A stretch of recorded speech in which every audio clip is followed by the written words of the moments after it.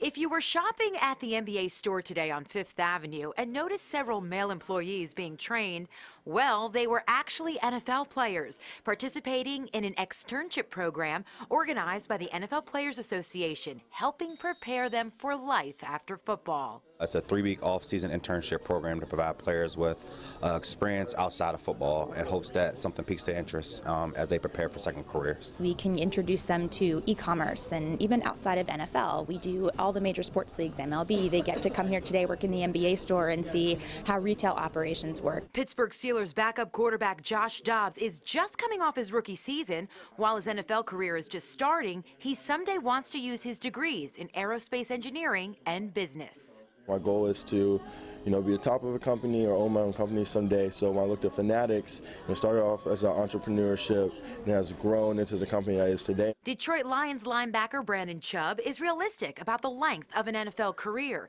so he's preparing for a business management job now. We play the most violent sport in the world. You know, it's going to come to an end someday. No, no LeBron careers, Peyton Manning, Tom Brady, the greats. You know, they're quarterbacks also. So I mean, you have those type of fairy tale stories, but at the end of the day, five, ten years is you still got 40 more years of life to live. The other participants this offseason include Bears running back Jordan Howard, Cowboys receiver Brian Brown, free agent former Jaguar Demetrius McCray, and free agent former Buccaneer Donteea Dye. New York Giants long snapper Zak DeOssie came to check out this immersive program in progress as an NFLPA executive committee member.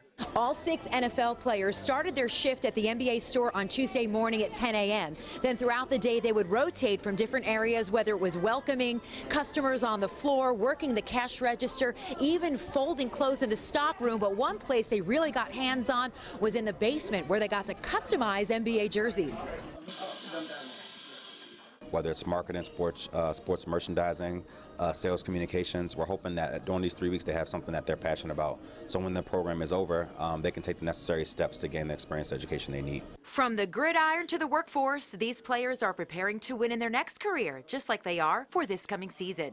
In Midtown, Tina Cervasio, Fox 5 News.